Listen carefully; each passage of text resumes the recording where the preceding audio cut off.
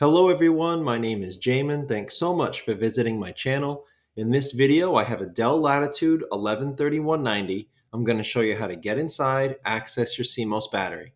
So first thing, power down your computer the correct way. Make sure it's off and unplugged from your charger. We're then going to flip your computer over to access our bottom case screws.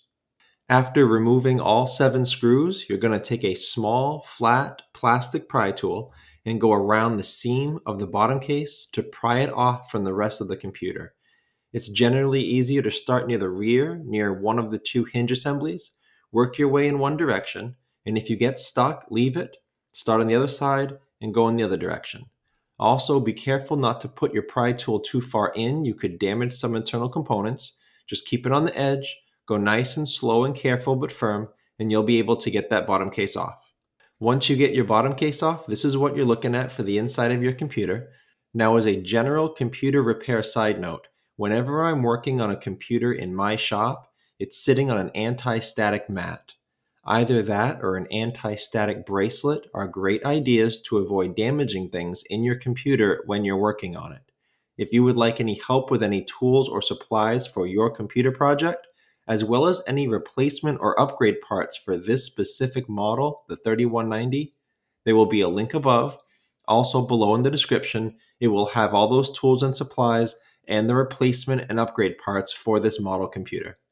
Now, before I touch anything in a laptop, I always remove or at least unplug the battery. Computers are safest to work on when as little power as possible is running through them. The battery is right here near the bottom of my screen. It's held in by three screws near the red arrows. It plugs into the motherboard here near the green arrow.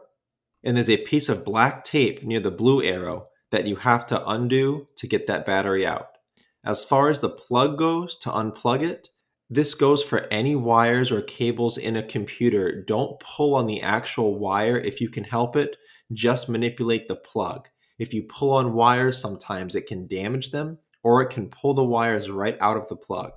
So in this case is a grip on either side of that battery plug. You can use your fingernails or a pry tool to wiggle that right out of that port. Okay, so now that the battery has been removed or again, at least unplugged, we can proceed deeper into the computer.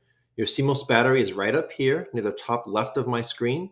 It's wrapped in black electrical tape and plugs into the motherboard right here above your solid state drive. Now, if you're looking to replace this, uh, it's very easy. That's just held on by double-sided tape. You can pop that off very easily. And I will have a replacement CMOS battery below in the description in that link I told you about with all the replacement parts for this model computer. If you're here to reset BIOS, you don't need to take that battery up. You can leave it down. Just unplug it from the motherboard right here. Leave it unplugged for maybe 15, 20 seconds, and that should be sufficient to reset your BIOS system settings. Now, again, don't pull on the wire. You can break it out of the plug. Just use your fingernails or a pry tool and wiggle that plug out of that port. Uh, one side note with this BIOS reset operation, in most cases, this will only reset your BIOS system settings, not your BIOS password. I will have more information about BIOS password resets below in the description.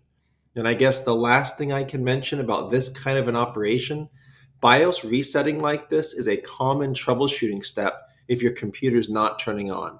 If that's why you're here and you want help finding out why your computer isn't turning on, there will be a video link below in the description. That will be the full troubleshooting process I use in my shop for a laptop that doesn't turn on. But that's the end of this video, how to get inside your Latitude 113190 and access your CMOS battery. Thanks again so much for watching. Uh, please remember to like and share if this helped you out, if you think it can help someone else out.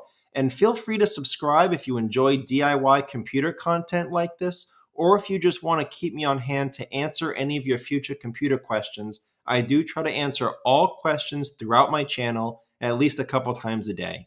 Also, feel free to check out the related link section below in the description. From time to time, I do try to add things in there that I think will help you uh, with your general computer life, make it more productive, more enjoyable. So thanks again for watching, everyone. I look forward to seeing you on my next video.